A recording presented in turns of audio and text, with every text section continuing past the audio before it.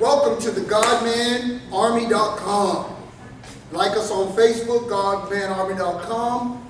Like us on Twitter.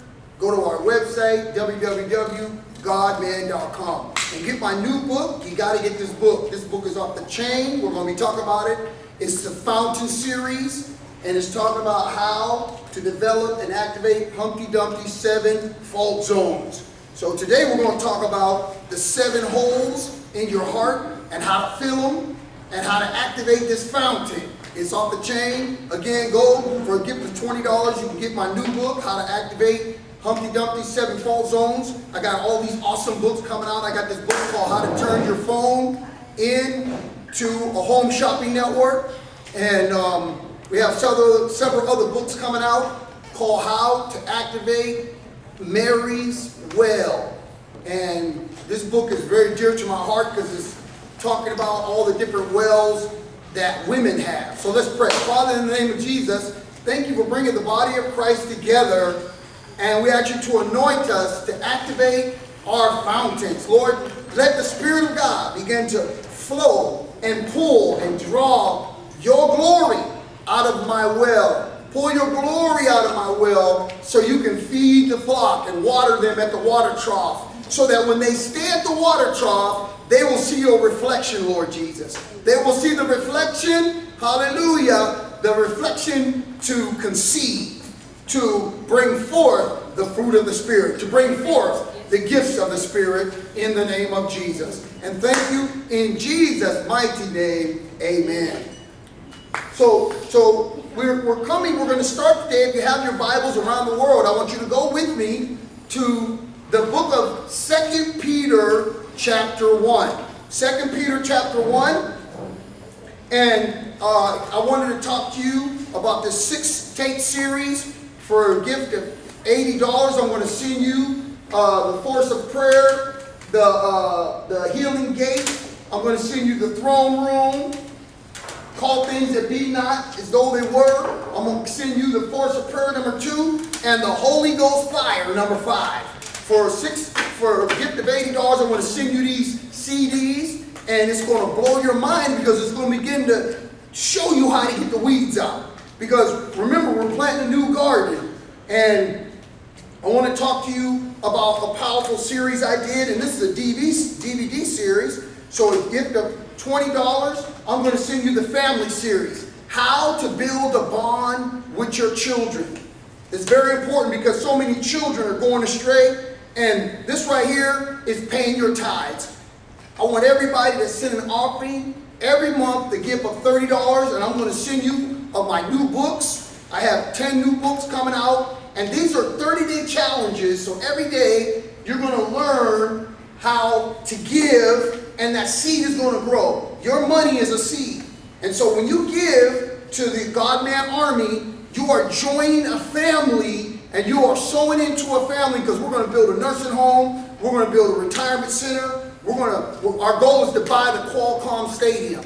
We want to build a church of 50 to 80,000, God showed me. And if you go to the Facebook, you'll see it on Facebook, uh, God-Man Army at facebook.com. So go to facebook.com and then put in godmanarmy.com and then you'll see the thing that this famous artist drew for me. And it's a picture of the Qualcomm Stadium. I knew the Qualcomm Stadium was going to have problems. Four years ago, I prophesied that the Chargers were leaving and that we were going to get that stadium and we were going to fill it with Christians. Amen? And I want you to know about this next series for a gift of $20. I'm going to send you this DVD package. The Holy Spirit's husband. The Holy Spirit's husband.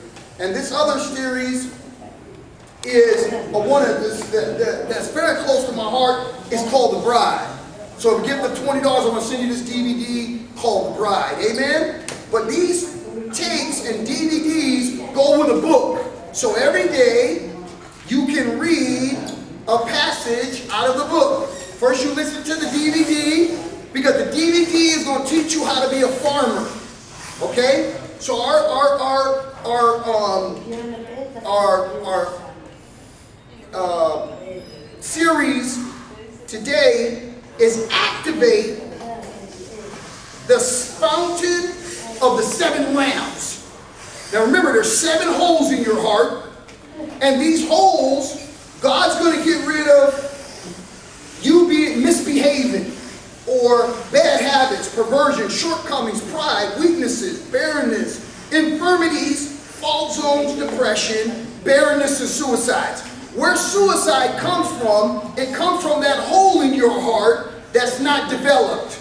So we're going to talk about how to fill those holes, not only planting a tree, but you don't want to just plant a tree without digging a well to water the tree and to make the tree bear fruit so that you can take the seeds from the tree and plant more trees in your garden. Okay? So today we're going to talk about that. It's very important when you when you when we go into the text of Second Peter, we're talking about filling the holes of our heart with the promises of God. Because wherever you're at today around the world, it's, it's, it's, because of the way you have farmed your life. So though a man thinketh in his heart, so is he, and out of the abundance of a man's heart he speaks. Where thy treasure is, there will thy heart be also. Now in 2 Peter chapter 1, again, we're talking about activating the lamps. Now I have a book that I came out with called The Seven Lamps. Go online to www.godmanarmy.com and you're going to see this book talking about when you put the word in your heart, in your conscience, the Holy Spirit activates it and produces a light. Now before, the Bible says in the book of Second Kings, there was a man, was a servant of Elijah. You don't have to go there. But the Bible says the great army came against Elijah, and the servant ran into the house, and he said, Elijah, Elijah, this great army is coming against us. Now watch this, ladies and gentlemen. The Bible says, God said to Elijah, pray that his eyes would open. And the Bible says when his eyes opened, he saw all the chariots of fire that was with Elijah.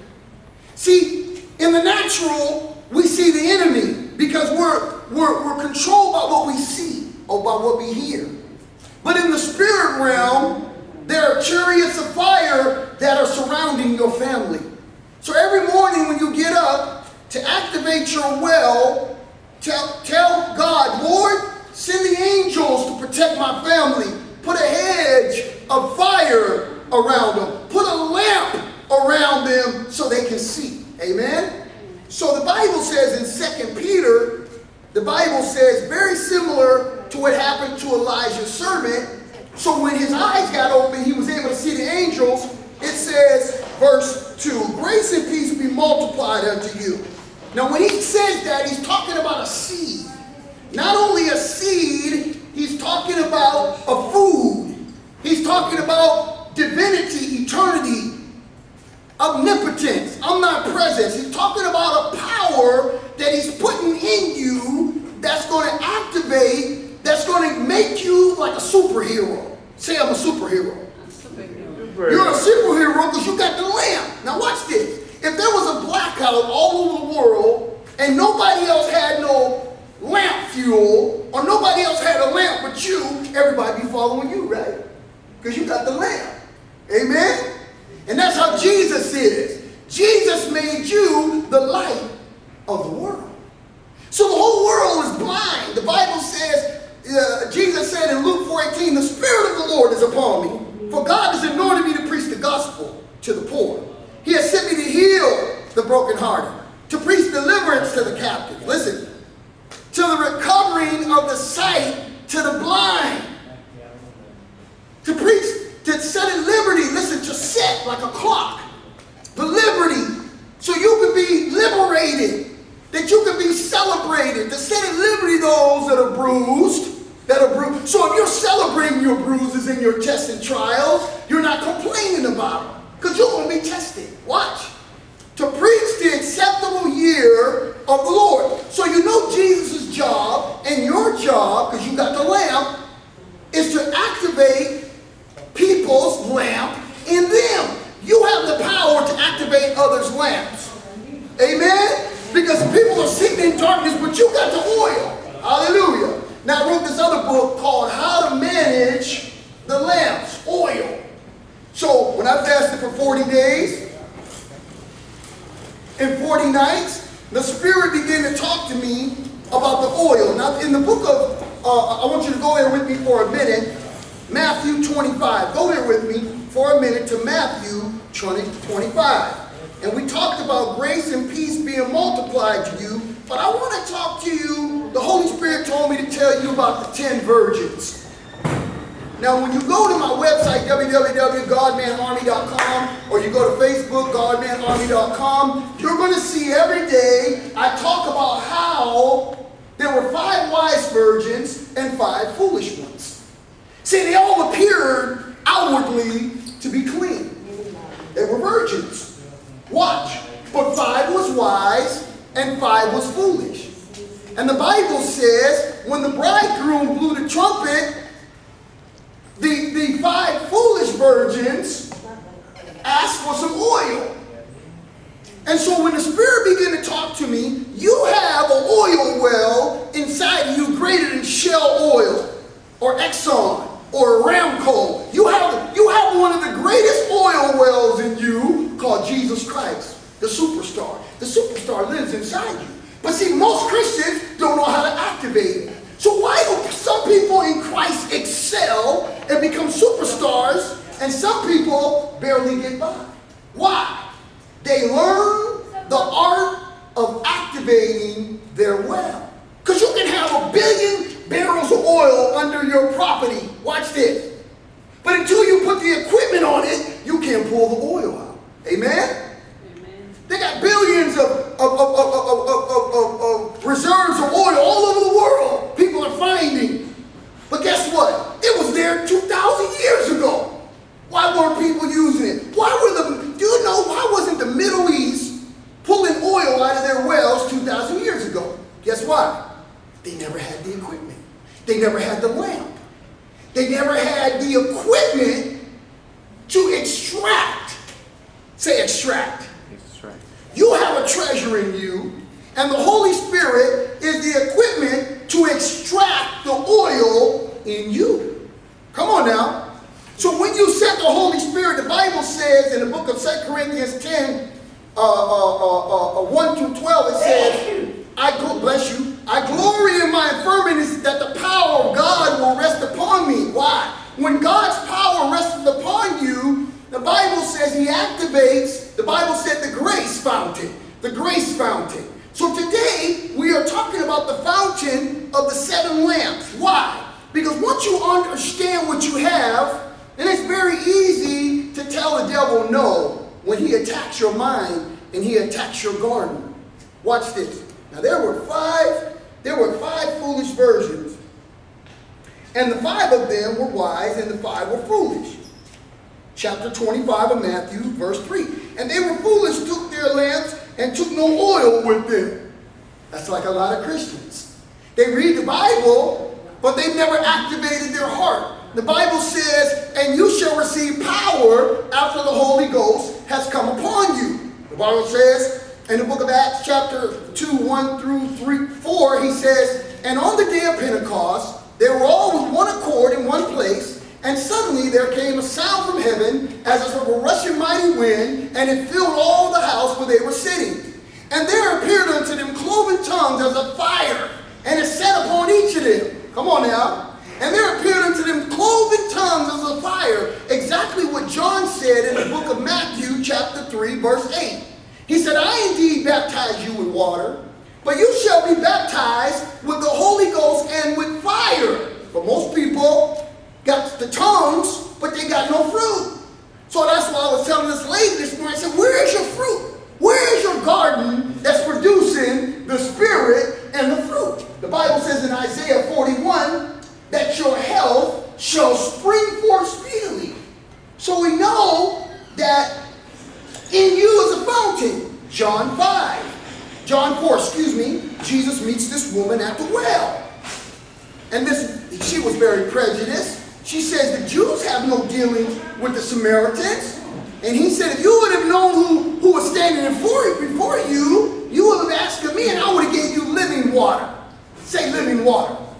Living, you, when the Holy Spirit has different, I'm an engineer by trade, When you find oil in the ground, listen to me, when that oil starts coming out, when you hit that oil, now let's talk about the byproducts of oil. Help me now. One of the byproducts of oil is fertilizer.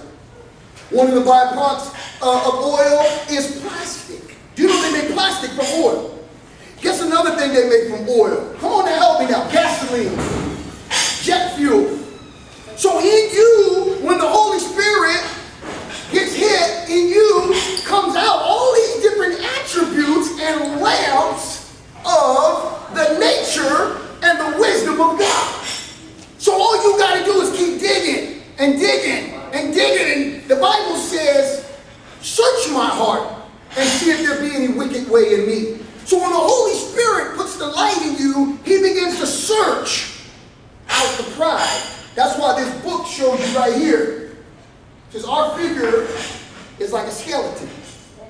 So at first, that garden may be barren, not bearing any trees like, like an avocado grove or apple grove or orange grove or, or grapevines. So what you got to do is every year plant a new crop and keep watering it. That's what the fruit of the Spirit is, and that's what the Holy Spirit is. So when, the, when you have a well next to the tree, the well will spring up. That's the Holy Spirit. And the tree is the Word. So when you plant the Word of God in your heart, and you use the Holy Spirit to water it, it will begin to grow the nature of God. And it will bypass your nature. Let's remember what I said. When the oil comes out in the natural, we drill for oil. Do you know people use oil, the byproducts of oil, for fertilizer? That's where we how we grew crops for thousands of years through the oil from the well. So when the Bible says this woman was foolish, she didn't know how to manage her well. She didn't know how to maintain the oil in the lamp. Well, you can always tell in your lamp when the oil was getting low. But some people don't run to the store and buy some. Now watch this what she said. But when the wives took of their vessels, they other lamps, while the bridegroom tarried, they slumbered and slept. And the midnight there was a, a cry made, Behold, the bridegroom cometh, go ye out to meet him. Then all the virgins arose.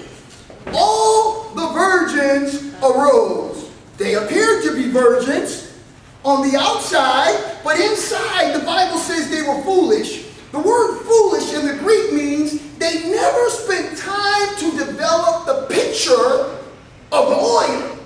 They never spent time drilling for oil.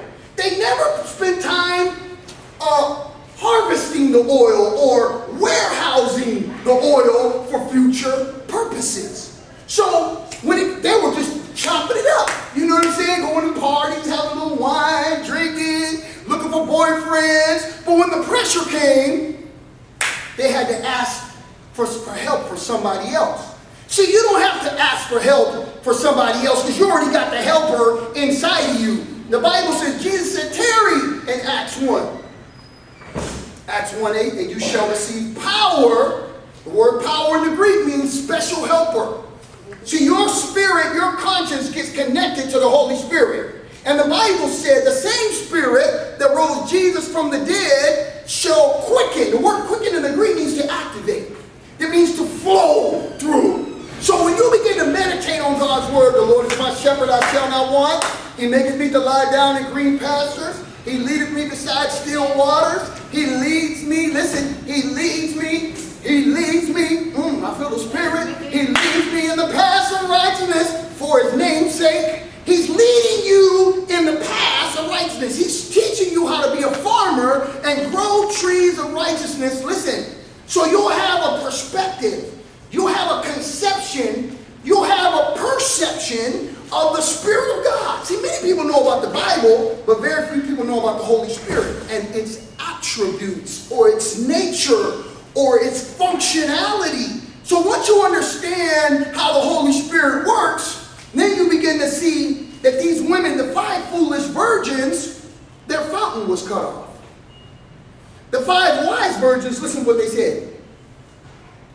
And the foolish said unto the wise, verse 8, if you just joined us around the world, we're in Matthew 25, verse 8. And the foolish said unto the wise, Give us of your oil. Say that. Give me some oil. Give me some oil. Say it again. Give me some oil. Give me some oil. These people never were trained how to activate their own well. Now they had the same well as the, the, the wise ones did. Go with me, hold your finger, and go with me to John 4. Please go with me around the world to John chapter 4.